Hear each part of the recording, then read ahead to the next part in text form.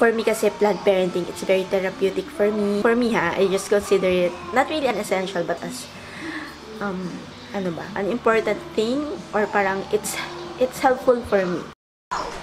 What is that? Is that your book?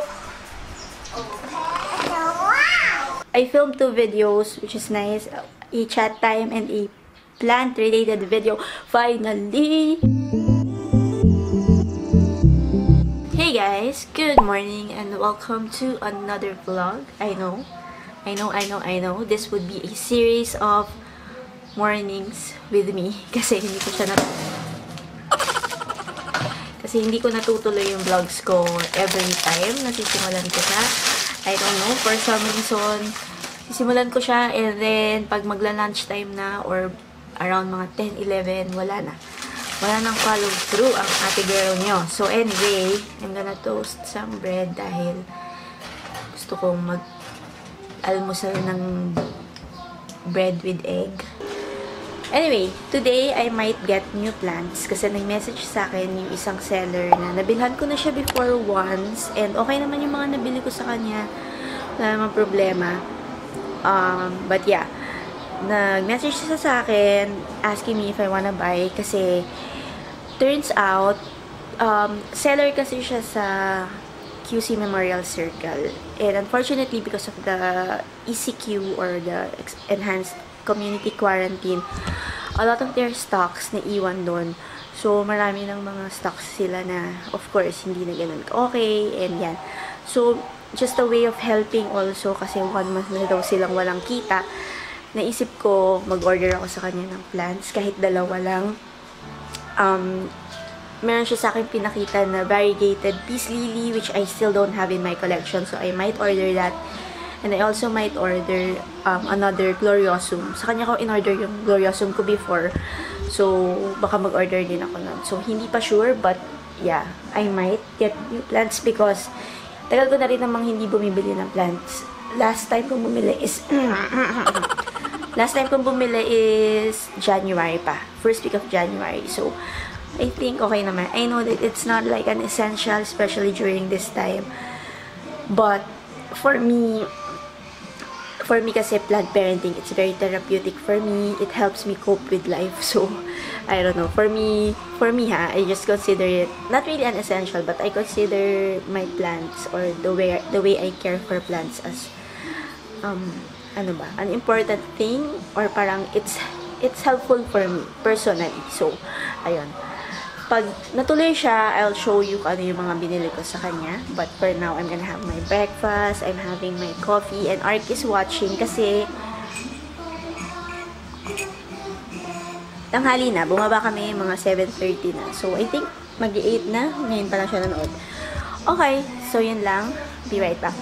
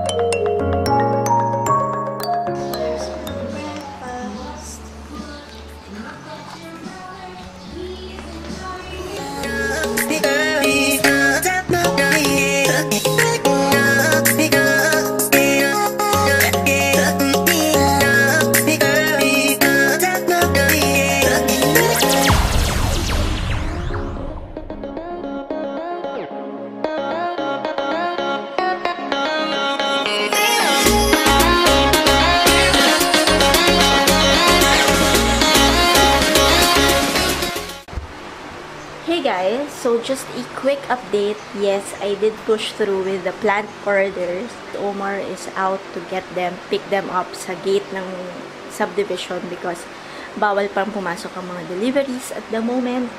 So, ayun. Um, yeah, the kids are upstairs kasi may pinapagawa ngayon. Well, hindi pinapagawa. May pinapa-install si Omar sa studio slash home office niya. So, nasa taas sila. Bawal sila dito sa baba. Kaya medyo tahimik ang paligid.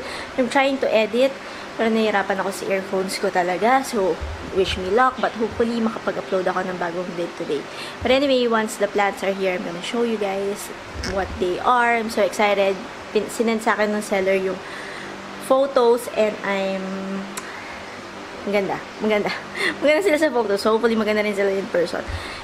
Look at the mess. But anyway, okay. Just an update. Be right back. Forgot to show you. Hindi, kasi may maingay kanina. Um, maingay paligid. But anyway, ito yung binili kong plants. I bought a variegated peace lily and another glor gloria, gloriosum. Hi guys! Good morning! Welcome back to another vlog. Lol. Hi, Mom. I don't know if I was heard though. Should I make it louder? May gano'n ka ba? Hindi naman ako kita. Ano ba sabi mo? Ang hina yata ng boses mo. Hi guys! Good morning! Welcome to another vlog! Ah, what time is it? 9.51 na pala. Hala, grabe. Tanghali na. Say hi! It's great! Great! Great! Great! Great! Thank you! Shall we see what's inside this?